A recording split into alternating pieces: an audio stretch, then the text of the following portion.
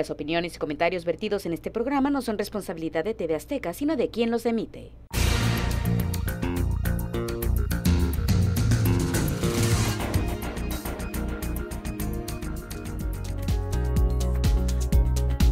Vencer al abstencionismo, una asignatura pendiente. Quizás todos somos responsables de este gran riesgo que permite la democracia o hemos dejado pasar el tiempo y no le pusimos remedio entre todos. Lo cierto es que el abstencionismo es uno de los peores síntomas en estas épocas donde todos anhelamos cambios y sin embargo no proponemos nosotros mismos desde las urnas. Baja California ocupa uno de los primeros lugares en este triste rating. Y es hora de cambiar esta perspectiva entre todos, con las herramientas que tenemos, con la libertad que gozamos. Hoy, en Sobre la Mesa, talentosos jóvenes de nuestro estado traen una propuesta fresca y viable para que las cosas cambien. Nos acompaña la experiencia de un prestigioso político, conocedor y analítico, para que juntos pongamos algo de luz a este recurrente problema a la hora de elegir a los gobernantes que han de ejercer cargos públicos. Buenas noches y bienvenidos a un nuevo programa donde pondremos aquí sobre la mesa un tema de interés general. Y vaya que el de hoy lo es, sobre todo por los momentos previos a una elección tan importante que vamos a tener en México y a un problema también sumamente importante que es el abstencionismo en nuestro estado. Pero bueno, creo que eh, vamos a poner luz en varias zonas oscuras de este problema eh, con la compañía de los invitados de hoy, que les agradezco mucho la, presencia del licenciado Murguía. Aquí tengo a mi derecha al licenciado Paulo Carrillo y al licenciado Alexis Ramiro Avilés. Muchas gracias por haber venido. Gracias por la invitación. Y vamos a, como es costumbre en el programa, vamos a empezar con el currículum de, de cada uno. Entonces vamos a, vamos a empezar por el licenciado Murguía. Carlos Murguía Mejía es licenciado en Derecho. Además, cuenta con una maestría en Derecho Fiduciario y un diplomado en Derecho Corporativo. También ha sido catedrático, conferencista y articulista en distintas ocasiones. Dentro de su larga carrera profesional, también ha tenido representación política en distintas comisiones. Además, contamos con la presencia de Paula Alfonso Carrillo Solís, quien es licenciado en comunicación, y Ramiro Alexis Avilés Ortega, licenciado en negocios internacionales. Ambos fundadores de Life United, una empresa generadora de proyectos sociales como lectores urbanos y la iniciativa de participación ciudadana Caile a Votar. Bueno, iniciamos el programa entonces después de estos, este repaso por los currículums de nuestros invitados de lujo de hoy, con una pregunta que va dirigida a los tres al principio como para este, entrar en el tema de lleno. ¿Qué piensan sobre el abstencionismo? Vamos a empezar por claro. Eh, pienso que es un sentimiento que es respetable. Eh, lo podemos ver en todos los países del mundo, no es una cosa de acá. Eh, siento que el problema es cómo el sistema maneja este abstencionismo, ¿no? Es cómo el sistema lo analiza y qué datos saca de él, ¿no? Porque los, el abstencionismo es igual el que es este, eh, intencionado y el que es este, por error. Entonces ahí tenemos como un gran indicador de cómo es percibido por el propio sistema, ¿no? Tú dices que, que y bien dices, que es en todo el mundo, no es un problema eh, privativo de, nosotros, y menos del país, y menos de Baja California. Lo curioso en este caso es que nosotros tenemos un alto índice, eso, sí, Es, eso sí llama poderosamente la atención. Este, referente al abstencionismo, yo estoy totalmente de acuerdo. Sí es un sentimiento que hay que respetarlo, pero como gobierno también habría que analizarlo. No se ha prestado la importancia a esta situación. Los partidos al final nada más están buscando el cómo ganar, ¿no? En, lugar de la forma de cómo hacerlo. Y lo que comentábamos hace rato, que el licenciado Murgía nos comentaba, eh, antes la clase de civismo era algo muy importante en el sistema escolar, pero, por ejemplo, poniendo nuestro ejemplo, tenemos 24 años, lo más que aprendimos nosotros en civismo fue artículo 123, eh, artículo 27 y artículo 3 fue lo único que aprendimos. No aprendimos qué hace un diputado, qué hace un senador, qué es un regidor y qué hace, claro. Eh, cómo formular una iniciativa ciudadana. Entonces, realmente para vencer este abstencionismo, aparte de tener políticos confiables, sí se tiene que inculcar desde las primeras edades para que sea una práctica ciudadana, ¿no? Entonces, pues creemos que esa es la verdadera clave, gane quien gane, para que cambie la situación del país. Licenciado. Sí, gracias Pepe por tu atenta y fina invitación y al público televidente que nos permite entrar a sus hogares y un halago estar con, con jóvenes valiosos, ¿verdad? que siempre participan, es, es, importante. Eh, yo tengo una reflexión en, en este tema. El deber cívico implica educar para la libertad, la solidaridad, la patria, las reglas de convivencia pública, el respeto mutuo entre las personas y el involucramiento del individuo en el desarrollo integral de su nación. En el caso particular, hemos visto el abstencionismo de los jóvenes, que es, muy alto, es, alarmante. Entonces, dicen que al joven no hay que integrarlo a la política, sino interesarlo. Por eso un gusto estar aquí con, con ellos. Y a mí me llama la atención que los estudiosos del abstencionismo dicen que hay varios motivos, varias causas, que no es privativo de México. Y dicen, ¿para qué voy a votar si todo va bien en política? Esta tiene su propia dinámica. La otra es, pues los ciudadanos no esperan nada de la política y en consecuencia, ¿para qué voy y voto? Y el tercer punto, el más importante para mí, es precisamente el que dice, pues yo no voy a votar porque a mí nunca me lo inculcaron en la escuela. No saben el significado de llevar a cabo el trazo de una cruz en una papeleta para poder alcanzar el término de la democracia y elegir a mi gobernante. Entonces, eh, es muy respetable la postura de quien se expresa en la abstención. Quizás el alarido más fuerte del reclamo social en contra del gobierno. Y analizar el fondo nos llevaría quizá a, otras latitudes, pero es muy grave que en nuestro país, nada más en el 2015, dejaron de votar 40 millones de mexicanos. Y el padrón electoral del país ahorita son 83.5 millones. Y si a eso le incorporamos el alto costo de un Instituto Nacional Electoral que al parecer creo que dicen 25 mil millones de pesos, pues es obvio que viene un desencanto de la población, de la juventud, del hombre, de la mujer, pero hay que evitar eso, hay que luchar, hay que esforzarse. Las autoridades deben tener plena conciencia y los organismos no gubernamentales, hoy la juventud aquí presente expresándose en una idea, en una participación, porque todavía creo yo que la mejor forma de lograr la democracia es a través del voto, Pepe.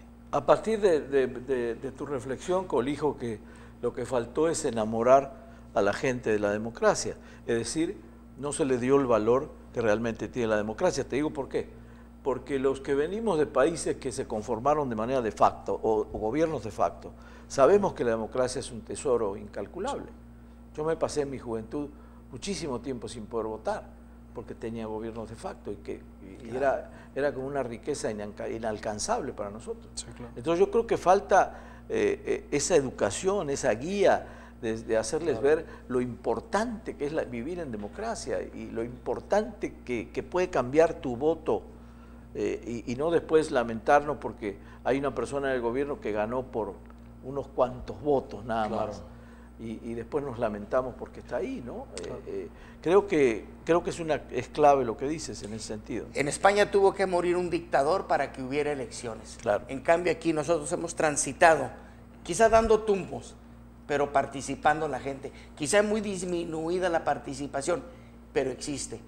La soberanía nacional reside esencialmente en el pueblo y esta se reflejará en el voto, quien decide qué tipo de gobierno quiere. Por eso, el accionar cívico, la propuesta de educación cívica es fundamental. Y por ejemplo, no solo el voto, ¿no? Este, cuestiones tan simples como, vamos a poner un ejemplo burdo, que en Estados Unidos y en otros países es algo que sí practican. Tú, pongo mi ejemplo, yo pasaba aquí por la colonia Cacho y siempre había una avenida que para cruzar tenía miedo porque no tenía yo visibilidad Y yo sentía que ahí debía de haber un semáforo para parar los carros que cruzaban esa, esa avenida y yo poder transitar seguro. Sin embargo, al final como ciudadano nunca hice nada, no fui, reporté que hubiese un semáforo ahí, no conseguí firmas, pero tampoco ni siquiera tenía conocimiento de a quién me acerco y cómo lo hago, ¿no? Y ahí sigue, ¿no? El problema, es algo que quizá yo debería de ir moverme y Queda en una queja interna, ¿no? un malestar interno, pero no, no trasciende. Exactamente. Entonces, como ciudadanos sí tenemos también una responsabilidad muy grande y no solo culpar al gobierno, sino también apoyarlo. Y esa es la clave. Cuando me enteré del, del, proyecto de ustedes, más que proyecto ya hace una realidad, porque cuando se habla de proyecto todavía no se hace, ustedes ya lo están haciendo, ¿no? Pero bueno, el proyecto guion realidad de ustedes, que es Caile a votar. Así es. Además, dicho de manera tan popular como el Caile. Así es. mal escrito, entre comillas, pero, eh, eh, pero Fácil muy, de digerir, muy ¿no? entrador, muy entrador. En, en, tiene, tiene mucho gimmick el decirle algo a alguien, Caile a votar. Sí. Eh, ¿Cómo inicia? ¿Qué, eh, pues, ¿Qué, le dijeron a los jóvenes para que los, para los, los jóvenes empiecen a adherir a, este, pues, a esta intención? Principalmente, digo, igual, como jóvenes y viviendo en una situación donde vemos un abstencionismo muy grande, inclusive en nuestro estado, eh, decidimos eh, empezar esta iniciativa y luego nos dimos cuenta que no solo era el invitar al voto, sino era el informar a, a, a la población en general, también a los jóvenes. Eh, estamos ahorita desarrollando algunos videos de qué hace un diputado, qué hace un senador, qué es lo que es un regidor, cómo formular una iniciativa ciudadana. Es un movimiento que queremos proseguir después de las elecciones, algo permanente. Claro. Y asimismo también traemos por ahí una propuesta, nosotros le llamamos política sustentable, ya nos estamos acercando al INE y al IEE para poderla realizar para las siguientes elecciones. Queremos como ciudadanos que nuestros impuestos, que se van a las campañas de los políticos, se utilicen de una mejor manera. Y les ponemos un ejemplo igual muy cotidiano. Eh, muchos podemos observar las bardas que luego están pintadas con el nombre de un candidato, ¿no? Y se quedan inclusive a veces años Años, sí, claro. años. Del, yo he visto unas del 2005 aquí en la ciudad. Cambian de partido los candidatos, pero ahí sigue la, cambian de partido los candidatos Sí, ahí- y ahí sigue la cartelera Ahí, ahí sigue su... con el logo anterior, ¿no? y lo que Antes, estamos... antes de avanzar más, me gustaría como que contestar puntualmente la pregunta de cómo inicia. Siento que cómo inicia es por una necesidad. Y nosotros antes de que a votar tenemos una empresa social que se llama Life United. Bajo esta empresa social nosotros resolvemos, bajo nuestra visión de la ciudad, paradigmas que creemos que son posibles a cambio, por ejemplo, a la educación. Tenemos un proyecto que se llama Lectores Urbanos, que en plazas públicas nosotros de forma gratuita eh, ponemos libros ¿no? para que las personas puedan acceder a ellos y creemos que todo parte de la educación, como bien y más adelante creo que lo vamos a concretizar, ese tema de la votación es parte también integral con la educación, ¿no? la educación de las personas al fin y al cabo. Y es analizar tu situación, tu realidad y atacarla desde la ciudadanía, porque Qué se puede. hacer. interesante lo de la lectura, no, no lo sabía. Y les está funcionando Sí, porque sería la mejor noticia que oí en los últimos años. que les Va, va de menor a mayor, que, va, lo- va que los, que, los, que los muchachos o la gente en general lea. Es Claro. uno de los problemas graves que tenemos. Nosotros nos damos cuenta, por ejemplo, los que somos comunicadores, que hay políticos que se nota que no leyeron dos o tres libros en su vida. Claro. Y eso es terrible. O sea, entra en el, en, en el terreno de la, de la broma y de los memes, y, no, porque el presidente dijo que no. Pero es mucho más grave que eso. Sí, sí, sí. Es terrible que te gobierne alguien que no tenga una cultura básica cultura. de una lectura. Claro, Yo no digo que sea lector compulsivo de, de cinco libros al mes, pero no. Pero, porque esos son los que, los que somos aficionados a la Sí. lectura. Pero en general, una persona que ocupa un cargo público, este, Carlos, debería, debería ser como obligado que sea un hombre que lea. ¿Qué, pueden, ¿Qué puede explicarle a un joven entonces? Exacto. Entonces me parece fantástico eso y, y me alegro mucho que vamos a, vamos a planear otro programa hablando de eso de la lectura Vale, porque invitar a, a escritores porque me parece muy buena, muy buena la idea, excelente, que ustedes lleven la lectura a los parques públicos o a, a la, a la parte pública. No me quiero desviar, pero Claro. me pareció Sí, claro. interesante este- eh, esto. Y, y decían que cómo se inició, este, Eh, pues- Alexis. Ah, bueno. Eh, por la necesidad que existe nosotros entre los jóvenes, es latente la falta de, de, este, indi- eh, como sentimiento nacional de ejercer tu ciudadanía, ¿no? Porque al fin y al cabo es ejercer una responsabilidad que tienes como ciudadano de haber nacido en un país, ¿no? Entonces, bajo esta túnica nosotros quisimos atacarlo a través de que nos manejamos mejor las redes sociales. Entonces, utilizamos las redes sociales y a través de ellas pues informamos todo este tema, ¿no? De los datos alarmantes que en el 2012 solamente el 63% de personas acudieron a votar de todo el país siendo 25 personas, 25%, entre el 24 y el 25%, no recuerdo el dato, pero que eligieron al presidente. Estás hablando de un cuarto de la población. ¿Qué eligió el presidente? ¿Y qué opinan el 75% restante? Se nos olvida totalmente que qué es México. Y es la pregunta inicial, yo creo. ¿Qué es México? México no son las personas que están detrás de la computadora escribiendo, porque solo son 40 millones de personas que tienen acceso a Internet. ¿Qué pasa con las 130? Somos 130 millones, ¿no? ¿Qué pasa con los 90 millones extras? O sea, ¿qué es, ¿dónde están? ¿Qué está pasando con todos ellos? ¿no? ¿Qué opinan acerca de todo esto? No tienen una voz para externar, ¿no? Carlos, ¿esto del abstencionismo es, como, es una especie de moda de los últimos años? ¿O siempre fue igual en Baja California? No, ha, habido épocas donde ha habido más abstencionismo. Yo quiero decirte que para, quiero hacer una, una rememorar, con Felipe Calderón Hinojosa, la participación fue del 58.5%, fue un poco alto. Con Enrique Peña Nieto fue el 38%. Entonces, nosotros empezamos a ver tendencias, unas veces más y otras menos. Pero lo que comentan los jóvenes es algo fundamental, que es educación, es civismo. Y cuando los cargos públicos llega el, el improvisado, el ocurrente, el advenedizo, el ignorante, pues es claro que que no puede llevar a cabo ni desplazar una conducta profesional, ni tampoco invitar o imbuir a la ciudadanía de que participe, cuando menos con su voto, porque pues no representan los intereses de una gran mayoría. Y entonces viene el desencanto. Por eso decía, la abstención no únicamente es el, no votar, es el alarido más fuerte del desencanto, precisamente eh, del pueblo. Eh, hay este, muchos porcentajes de los que podríamos hablar, pero... Es como responder con silencio a una invitación, ¿no? Así es. O con desdén a una invitación. Cuando, cuando dijo él precisamente que hay otros temas donde resuelve una persona y ellos no son copartícipes, eh, ahí hay una falla estructural, porque en México el gobierno es representativo, popular y federal. ¿Qué decimos que es representativo? Porque te representa el diputado, te representa el senador, te representa el regidor, pero hay decisiones que no pueden ser exclusivas de ellos, sino tienen que darle vista a la ciudadanía para interesarle y que verdaderamente vote. Entonces, resuelven por 120 millones 500 diputados y 133 senadores cuando la mayoría de la ciudadanía son todos los millones y si se fuera consulta popular, pues no precisamente íbamos a, justificar que pasara esa propuesta. Exacto.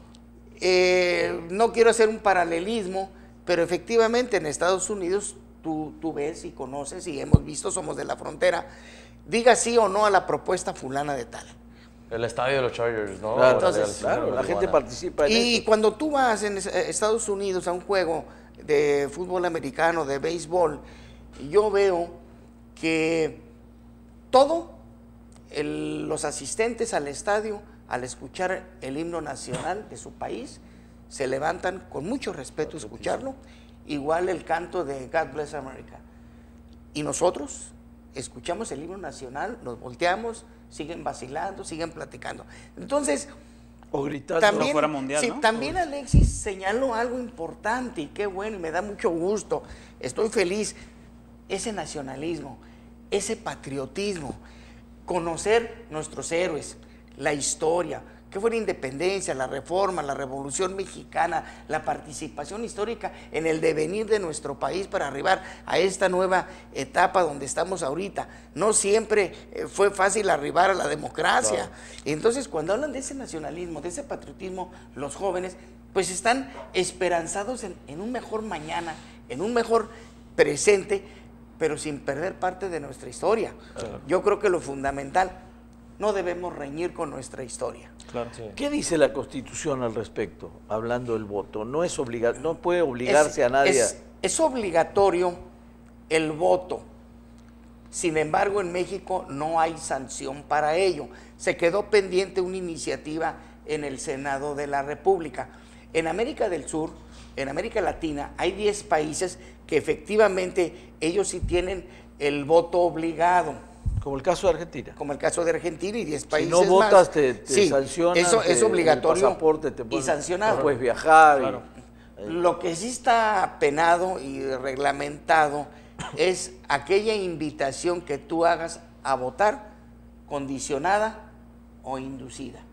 tú, no, tú no puedes hacerlo porque sí incurres en una responsabilidad. Eso es lo que te señalan las autoridades correspondientes, ¿verdad? Y obviamente el tráfico del voto, eh, los recursos económicos eh, provenientes indebidamente, este, todo lo que, lo que sabemos. Pero aquí no hay voto obligado, sancionado, salvo en, Argentina y otros países. En Europa, que tiene una democracia histórica muy, profunda, eh, allá no es el régimen presidencialismo y en el voto, allá es el parlamentarismo. Es más, tenemos el caso de Estados Unidos. Allá Hillary Clinton sacó más votos que Donald Trump, pero no ganó Hillary Clinton porque allá es una representación ¿verdad? A través de, personajes que, que, son los que tienen los, los colegios electorales. En nuestro país el INE, que es inmensamente caro, ¿verdad? Y que la gente lo repudia. Es el más caro de toda América Latina, ¿eh? Dos veces el Instituto más caro Nacional Electoral es el, es el más caro. Veces más caro que por votante registrado. Es, es, es, es, el más caro de América Latina, el INE. O sea, nos podemos dar ese lujo. 25 dólares. sí, entonces, este, y quién sabe si no sea más caro, pero... ¿Cada voto? Cada porque en lista nominal existen 87.8 personas hoy a votar, ¿no? Eh, el BBC hizo una investigación en las elecciones entre 2002 y 2016. Eh, Estados Unidos gastó en promedio 11.86 dólares por cada votante registrado, ¿no? México gasta 25 millones sin tomar en cuenta organización, que entra ya los gastos del INE per, per se, ¿no? Pero gastamos 25 dólares por persona en México. Sí, es, es, muy caro, ¿no? Entonces, este, eso e, e, es, un insulto. Entonces, la realidad de las cosas es que anteriormente eh, los congresos de la Unión, los congresos del Estado se erigían en colegio electoral y calificaban las elecciones. Y francamente era mucho más barato. Eh, de, de, tal suerte, la democracia no tiene por qué ser cara, de ninguna manera la expresión del joven, de la señorita, eh, del profesionista, del obrero, no tiene que ser caro de ninguna manera. No es posible que tengamos una credencial federal que la queramos únicamente para identificación. Eso, eso es injusto. Sí. Pero yo quiero seguir escuchando. no, no, adelante. De hecho, eh, comentó, algo muy este, interesante referente a lo de los diputados, ¿no? Y de hecho, estuvimos en las calles haciendo preguntas y hasta hace poco nosotros mismos no los conocíamos también, o por lo menos hablando por mí. Este, ¿Quién es tu diputado? ¿Quién es tu senador? ¿Quién es tu, tanto tu diputado federal como tu diputado local? ¿no? ¿Quiénes son los regidores? O sea, no, la gente no, no conoce ni siquiera quiénes son, entonces también como ciudadanos, ese es el sistema en el que vivimos. Entonces, ¿cómo podemos esperar que el día de mañana, que por ejemplo la cuestión del IVA, que muchos eh, votaron a favor, estando yo creo que todo el Estado en contra, pero fue porque no no vamos como ciudadanos a exigirle al diputado, a acercarnos a él, a juntar firmas, a llevarle propuestas. Entonces, ya sabemos y digo, es más que obvio que el sistema es fallido, que los políticos, eh, muchos, hay muchos que hacen bien su trabajo, pero hay muchos que no lo hacen. Pero como ciudadanos, lo que está en nuestras manos es por lo menos practicar nuestra ciudadanía, ¿no? Entonces es lo que queremos también con... Cuando dices gente, te refieres no solo a la juventud, sino a todo, el votante en general, no importa la edad. Hay, hay una desinformación o una falta de conocimiento de muchas cosas que hacen que en general se vuelva... Sí, definitivamente no, no es un hábito y debería ser un hábito practicar nuestra ciudadanía.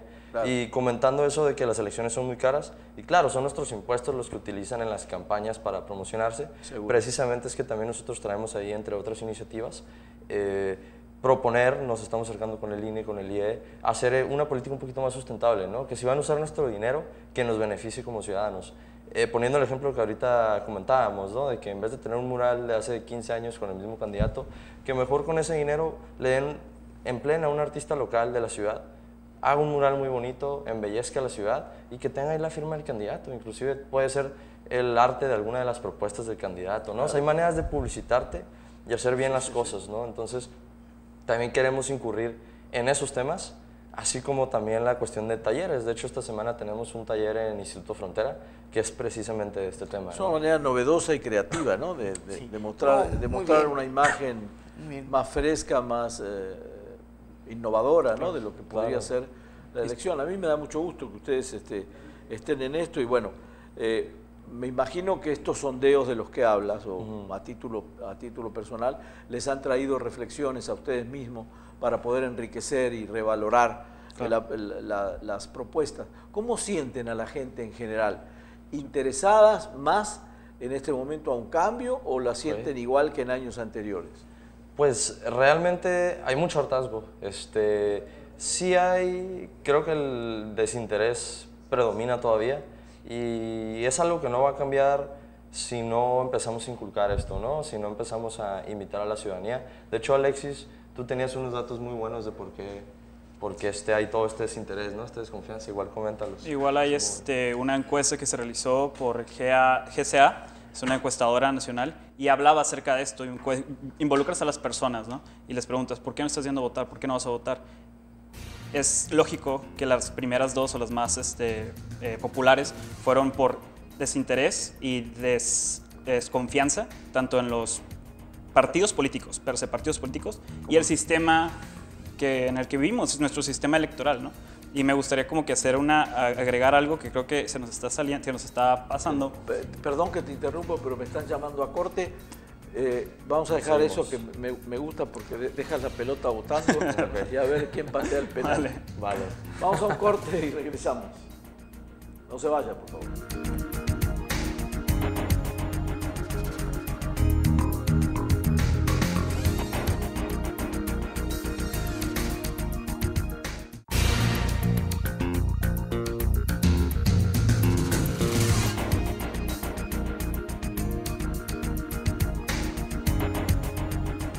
Bienvenidos nuevamente. Cortamos abruptamente la, el primer, la primera parte del programa porque estaba muy interesante, pero quisimos eh, esperar esta pausa para iniciar ya con una explicación profunda de todo esto que nos estaba dando Alexis, que estabas en, un punto... Una pregunta. Claro que sí.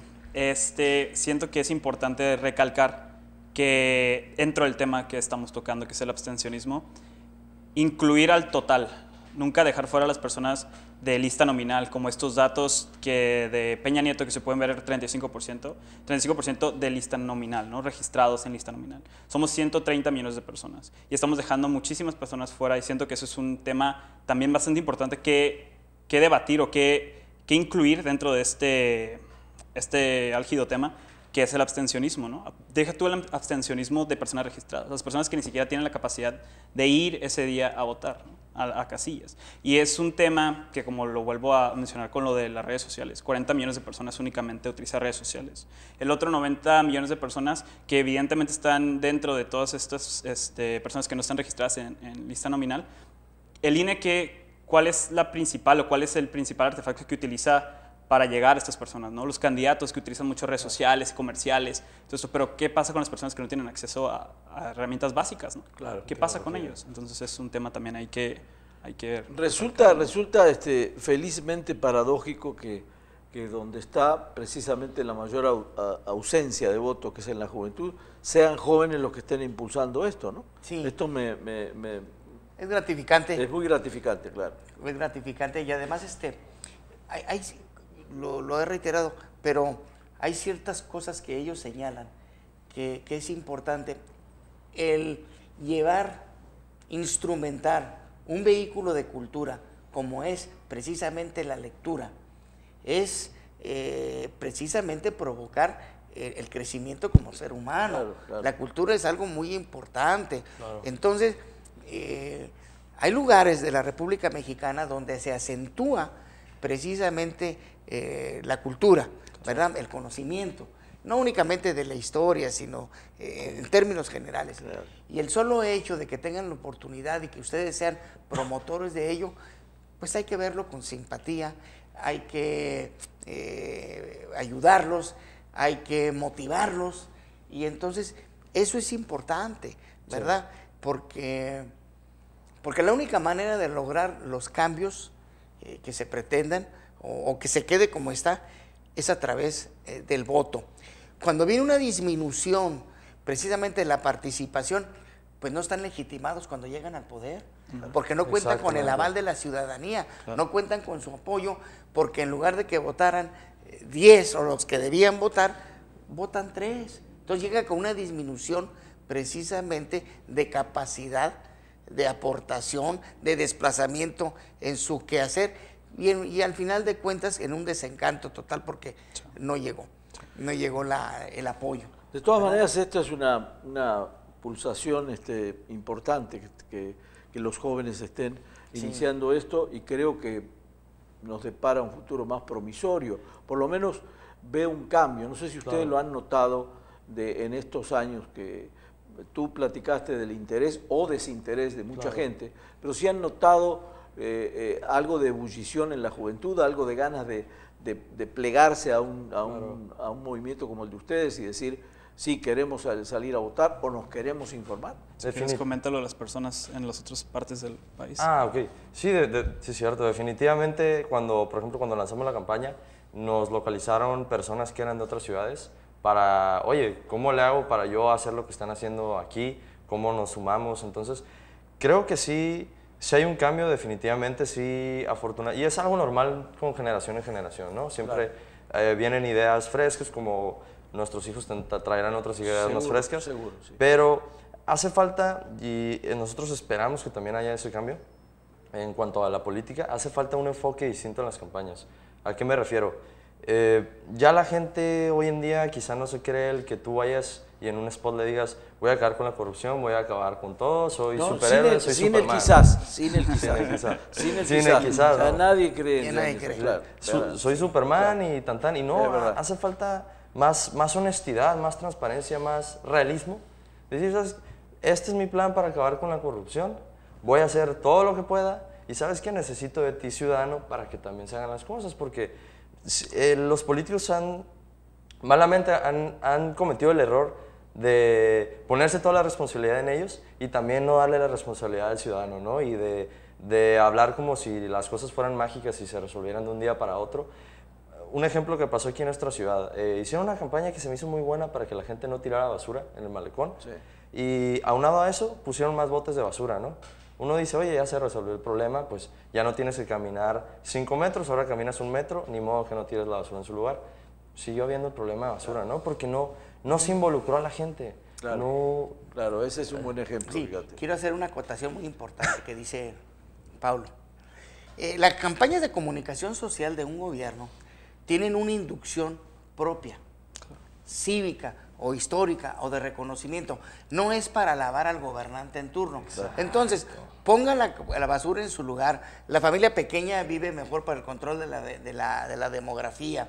Este, si maneje, no tome, si tome, no maneje. El conductor designado. Hay muchas campañas eh, sutiles, directas, que penetran en el ciudadano y que son válidas. Cuando comenta esto, Pablo, me parece, me parece formidable porque, porque es cierto. Pero también cuando dice, es que los políticos asumen toda la responsabilidad que ellos van a lograr sin involucrar a la ciudadanía. Lo que sucede es que por eso es política representativa. Tú votaste por él para que hiciera y para que trabajara y la responsabilidad es de él, ah, porque el buen juez por su casa empieza. Entonces, imagínate que yo llegue para trasladarle la responsabilidad al ciudadano, no se vale. Hablan y dicen, no debe politizarse la inseguridad. Porque también es responsabilidad del ciudadano. Oye, pues yo no tengo chaleco antibalas, ni tengo pistola. Ni estoy preparado. estoy preparado. Esa es una función precisamente del funcionario público, del diputado, ¿verdad? Para que haga lo que tenga que hacer ante las autoridades y provoque una instrumentación de cómo solventar la inseguridad que tiene una demarcación, que tiene una ciudadanía. El otro punto, porque Pablo ha sido recurrente, es que los maestros no les enseñamos a, la juventud qué hace un regidor, qué hace un diputado, qué hace un senador, qué hace un gobernador. Los, y cuando hablan de los partidos políticos, tienen una gran responsabilidad, porque los partidos políticos reciben fondos públicos. Exacto. Y como tal, primero deben decirle a la ciudadanía, esto es lo que recibo y esto es lo que gasto. Y esto es lo que voy a decir. Hay una opacidad, hay un silencio absoluto, no se atreven a hablar. Este, habemos, lo digo con todo honor y alabanza en boca propia y vituperio de ninguna manera, claro. pero yo creo que quien participa en política tiene un trabajo muy claro. Sí. Debe actuar con profesionalismo, con honestidad, con eficacia y de cara al pueblo. Porque eso es lo que quiere la ciudadanía. Yo te agregaría que, y predicar con el ejemplo. Predicar con el ejemplo. Porque la, la, incredulidad en que cayeron los mensajes de los políticos hacia la gente es precisamente eso. O el político, o detrás del político, el partido que representa, no es creíble. ¿Por qué no es creíble? Porque la gente ya no cree en el genérico, en la política. No, no es creíble porque las acciones que ha cometido ese candidato o ese partido o esos compañeros de fórmula no son del todo transparentes, no fueron sanas, eh, eh, es más, en algunos casos comprobablemente terribles. Eh, de, resultados terribles. Entonces la gente, ¿cómo, cómo puedes hacer creer a la gente? Si tú, haciendo una, analogía así, si tu equipo pierde todos los partidos 4 a 0, ¿cómo vas a hacer para que la gente crea en el equipo? Es imposible. Entonces, en este caso creo que es, es, valioso el punto que tú tocas cuando dices la gente no les cree, o, puedes decir lo que quieras y la gente no les cree, Pasa, pasan de largo y creen a lo mejor más en, una figura, en, una, en, una, en un mensaje más esperanzador, en una cosa que, que no tiene tampoco mucha forma, pero, pero se agarran de, de algo que, que, es por lo menos desconocido, porque puede llegar a ser bueno, a lo otro que estoy comprobando que es decididamente malo. Y esto me parece que es una de las, de las cuestiones que nos trae asolados a todos, ¿no? Eh, eh, complicados y preocupados por lo, por lo que está pasando y por lo, por lo que va a venir. De todas maneras, la pregunta que les quiero hacer es, y, ya en, parte me la contestaron, es, ¿sienten que la gente tiene mayor interés, que la gente está tomando un poco más de interés eh, en, el, en, el, hecho de decidir, no en el hecho de la política en sí, que lo analizamos brevemente, pero sí en el hecho de decidir, es decir, ven un futuro un poco más promisorio en ese sentido, o, vislumbran igual un, primero de julio complicado a la hora de salir a, elegir? Yo soy convencido, soy convencido porque lo veo en mis alrededores, en todos los extractos sociales. Veo este, más que hartazgo, esta participación de debate, pero un debate per se, ¿no? No una discusión, no imponer mis ideas, porque eso es democracia al fin y al cabo. La democracia es poder dialogar y poder compartir ideas, ¿no? Y eso lo veo, lo veo a mis alrededores evidentemente, y no es un secreto, que hay un hartazgo general en la población. Aunado esto a los recursos que son pues mayor accesibilidad a la información, la transparencia, los temas de los que hablas, que muchas veces se ven involucradas también personas que son buenas ¿no? en sus partidos, en todos, ¿no? Hay personas buenas y personas malas, ¿no? no eso es, es importante recalcarlo, pero sí hay un hartazgo y este hartazgo te lleva a un cambio y te lleva a una transformación, quieras o no, de una buena o de una mala manera, ¿no? Y esperemos que sea de la mejor manera posible, ¿no? Es inevitable. Pablo, el, no el advenimiento, pero ya sí el avance de las redes sociales en los últimos seis años, ¿cambiaron las cosas? Ah, definitivamente. Hay, creo que, como lo comentaba Alexis, gracias a esta incursión de las redes sociales, es que la gente, eh, aparte que está más informada, ya tiene creo que un juicio más claro ¿no? de las cosas. Sí han jugado un papel también de desinformación, porque se publican muchas cosas que no son ciertas y mucho que fake news y mucho, mucho fake news. Hay que ser cuidadoso nada más con eso. Por eso nos da gusto ver el, el, movimiento de verificado, que es de, de varios medios nacionales, donde tú puedes ver qué es fidedigno y qué no. Pero se ha cambiado y por, por, eso que comentaba, que la gente ya, ese hartazgo también viene de que precisamente por las redes sociales y otros medios, la gente ya no se cree, ya, como dice el dicho, ¿no? que ya, no, ya no se toma, se come a tole con el dedo. Claro, sí, sí, sí. Algo por el estilo. Entonces, por eso es que esperemos que esto lleve a un enfoque distinto a la política, que era lo que, lo que comentaba también usted, que simplemente ya los candidatos también sean más honestos al dar sus propuestas, que una campaña política sea para educar. La otra vez hablaba con una persona y yo le comentaba eso, una campaña política debería ser para educar a las personas que has, oye, yo soy diputado, te voy a enseñar qué es lo que hace un diputado, ¿no? Así me puedes buscar, etcétera, etcétera. Y, una, y esa persona me comentaba que no, que la verdad que no era para eso, era para que los partidos buscan estar en el poder, mantenerse, etcétera. Pero yo creo que sí se puede llegar a un balance. Este, y creo que también es muy importante el cómo ganas una elección. No ganarla, sino el cómo lo ganas, ¿no? Entonces, esperemos que los partidos en general, los políticos, ya este, logren cambiar ese enfoque, ¿no? Logren cambiar ese enfoque y den un mensaje más, no solo más humano, más honesto, sino también te hablen más a profundidad de su proyecto. A veces quizás subestiman un poco el intelecto del mexicano piensan que va a ser algo que no vamos a entender, pero deberían de hablar más a profundidad de las cosas. Ok, vas a combatir la inseguridad, explícame tu proyecto bien hecho, ¿no? Claro. Vas a combatir este, la corrupción o las cuestiones ecológicas, ¿de qué manera? Entonces, de esa manera... Es que si un político no sabe explicar de manera coloquial y digerible no es un buen político. No, pues un político que un político sea retórico todo el tiempo pues y que no le y que, que, emplee palabras técnicas y que la gente no entienda es no es un buen político. algo algo hay que estoy escondiendo, ¿no? Exacto. Entonces eso tiene que tener capacidad de interlocución, de comunicación, de entendimiento con su elector, porque si no está está perdido.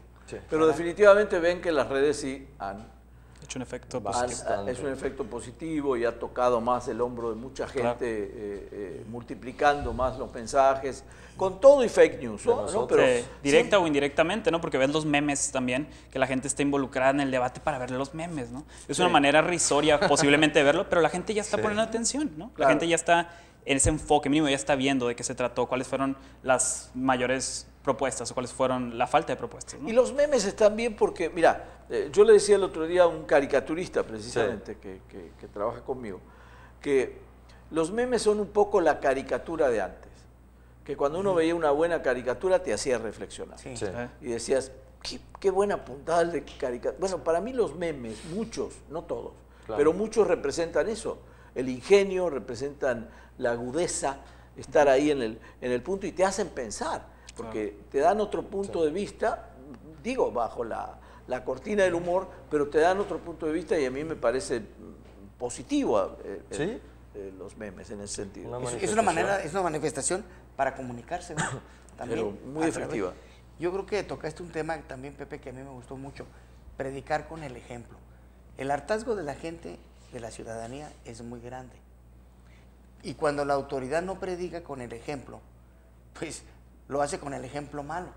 Y entonces el pueblo, la ciudadanía, pues es testigo presencial de un desplazamiento de conducta de autoridad que no satisface los intereses de él. Entonces viene y se convierte en ese hartazgo. ¿Dónde lo voy a reflejar? En la urna. Pero ¿de quién fue la responsabilidad? Pues de la autoridad que no cumplió. Y entonces y la ciudadanía, ciudadanía tiene todo el derecho de calificar, porque es el único que, el gran juzgador es el pueblo, no hay nadie más. Entonces, yo recuerdo que alguna vez en alguna campaña una señora me comentó, yo voy a votar por X partido, porque desde que llegó a ese partido a mí me recoge la basura. Bueno, y entonces me decía un compañero, oye, la señora lo que dijo, déjala, respétala, ella tiene su forma de pensar, y hay que hacerlo. Entonces, eh, uno debe de de lograr cómo interiorizarla eh, en otra dinámica para que vea con simpatía tu propuesta. Pero si ante el desplazamiento, precisamente el actuar de un gobierno ineficaz, deshonesto, porque la corrupción no únicamente es, no es tomar dinero que no te pertenece, sino ser negligente en tu actuar. Claro, claro. Usarlo mal, claro. Usarlo mal, ¿verdad? O, ser negligente, pues la ciudadanía eh, observa y califica y juzga. Ahora, tú fuiste diputado local. Cuando, y para eso tuviste que hacer una campaña. Una campaña. Cuando saliste a, platicar con la gente, ¿la veías desinteresada o volcaban su problema personal como la señora de la basura? Muchas veces estaban desinteresados y yo tenía que hacer un esfuerzo para poderlos, eh, invitarlos a una dinámica que me pusieran atención. y la verdad de las cosas la gente está muy cansada del político soberbio, arrogante, eh, petulante. Y, tú estás por porque el pueblo te llevó ahí. Y mantenido, como decía una señora el otro día. Entonces, son mantenidos. Son mantenidos. Entonces, hay que tener, hay que tener, hay que tener sencillez, hay que tener humildad. Entonces, eh, cuando tienen posturas precisamente de apariencia, el pueblo lo ve. El pueblo advierte cuando es un engaño, ¿verdad? Entonces, e, e, eso no puede ser, porque los servidores públicos nos debemos al impuesto del ciudadano. Ellos pagan. El, funcionario público es más vulnerable de lo que la gente cree. Y le tiene pavor a, la prensa. ¿En pues qué momento, perdón que te interrumpa, eh, perdón, este, ¿en qué momento el político actual perdió esa perspectiva? De que la gente, sin el apoyo de la gente no se puede nada y se mm. creyeron omnipotentes. Este.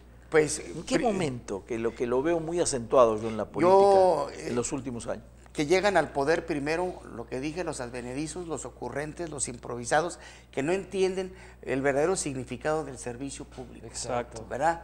número uno. Y número dos, eh, el obtener recursos económicos que jamás habían tenido, ¿verdad? Y entonces se sienten sobrados y se quieren dar una vida que no les pertenece. La tesis juarista, y perdóname que me remita a la historia, decía, el funcionario público deberá conformarse a vivir en la honrosa medianía. Pues, bueno, pues, y es lógico, ¿no? Y, es lógico, ¿verdad? ¿Quieres hacer dinero? Pues vete a comercio, vete a la industria, sé inversionista, sé maquilador, y qué bueno, porque la ley lo permite, ¿verdad? Pero el funcionario público, pues, no puede tener recursos más allá de, lo que le permite la ley, o como decía el apotegma histórico, ¿verdad? Nadie tiene derecho a tener más en los, y caer en el gasto superfluo cuando se carece todos los demás. Exactamente. Siento que entra la parte de patriotismo aquí también, porque es saber quién estuvo antes de ti, también como funcionario público, ¿no? También siento que es una parte importante. Eh, muchachos, la, el, el caile a votar, que me, me, ahora sí que me, cayó bien de entrada, eh, ¿cómo vamos o cómo van?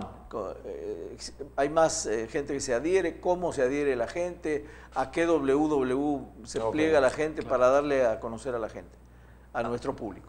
Este, bueno, ahorita estamos hablando un poquito de, las actividades que estamos realizando. Estamos eh, ya en proceso de, edición de varios de estos videos que comentábamos, de qué es un diputado, qué es un senador, un regidor, los cuales ya estaremos publicando en estas semanas restantes de la elección. Sí está la idea de que sigamos después de, porque es una plataforma para informar a los ciudadanos. Me parece excelente. Estamos por ahí, aparte de un taller que vamos a impartir en el Instituto Frontera de estas temáticas, también está la posibilidad todavía no es seguro, pero estamos organizando por ahí un foro con candidatos a senadores para también poder promover lo que es el voto consciente, ¿no? Realmente eh, también buscando un formato donde puedan dar más sus posturas y que no se preste tanto a, confrontaciones, ¿no? Porque luego se pierde sí, esa sí, luego se pierde, se polariza el asunto y... ¿Cómo entro, Alexis? ¿Cómo, si yo del público? ¿Cómo quiero, quiero ponerme en contacto con ustedes? Eh, a través de nuestra página que le votar en Facebook y que sepan que le votar no es algo solo de estas elecciones, se va a quedar permanente ya como una plataforma política y darle voz a estas personas que puedan opinar y puedan ser recurrentes ¿no? en, nuestras, en nuestras páginas. Me gusta eso porque eso le da, le da una continuidad, eh, porque todos, todos sabemos que estas cosas intermitentes de la política, el político aparece cuando hay elecciones y desaparece cuando ya no las hay, y esto me parece... Eh, crucial que haya eh, eh, información permanente al respecto. Así que mm, me meto a la página, busco Kyle a votar y ahí me da toda la información. Toda la información y, mensajes y contacto. Interaccionar con, ustedes de alguna manera. Ahí en Facebook estamos. Bueno, yo mm, no me queda mucho tiempo, así que este, les quiero agradecer otra vez a los tres gracias, la participación. Carlos, muchas gracias otra vez por volcarnos acá toda la experiencia del mundo. Casi salimos por consultas en política los tres. Me, faltó hacer este un, comentario, un reclamo nada más. Que este, cuando preguntaste por qué, en qué época, en qué momento la ciudadanía también palpó ese, esa circunstancia que provocó el rechazo. Pues cuando el funcionario, hasta de tercer nivel, guarura, chofer, escolta, carro blindado, se volvieron locos. Desapego, ¿no? Y se, que se volvieron locos en el exhibicionismo. Y los sacas a la banqueta y nadie los conoce. ese es el... ¿Algún mensaje, eh, Pablo, al final, a la gente este, que quieras Claro. Eh, simplemente invitarlos a, a, buscar esta plataforma, en general a informarse, a, a, hacer uso de su ciudadanía, de participar, no nada más votar, sino también ir a participar. Y pues aunque a algunos no les parezcan ninguno de los candidatos, pues hay que, hay que ejercer el voto, ¿no? Entonces, Muy bien dicho. por quien quieran, pero que le caigan a votar. Muy bien. Alexis. Creo que una de las principales partes es vincular de nuevo la, el sistema electoral, los candidatos, los ya nuestros representantes, con la ciudadanía y confiar en ellos. Hay personas que, son, que ejercen bastante bien sus puestos, que saben mucho y que te puedes acercar a ellas muy fácilmente. Entonces, nunca perder este apego y nunca perder este desinterés por nuestra política porque somos entes responsables de ella. ¿no? me gustaría, así como ustedes van a seguir después de las elecciones, claro. me gustaría después de las elecciones volverlos a invitar claro, para que hagamos un este, post-electoral, un análisis post-electoral y ver cómo la juventud, el caso de ustedes que son el, llamado a la juventud, a la parte joven, aunque por lo que veo, pues sí abarcan varios perfiles etarios y no, no, no nada más los jóvenes, para ver cómo nos fue. Porque en realidad esa es la intención de los cuatro que estamos aquí, de que la gente salga a votar para que haya una elección por lo menos más copiosa. Después veremos en qué, en qué, en qué deriva todo esto. Así que les agradezco de nuevo. Muchas gracias. Gracias. gracias. gracias por el y a nuestro público los esperamos la próxima semana con otro tema de interés como el de hoy. Nos ganó el tiempo y eso es bueno. Buenas noches.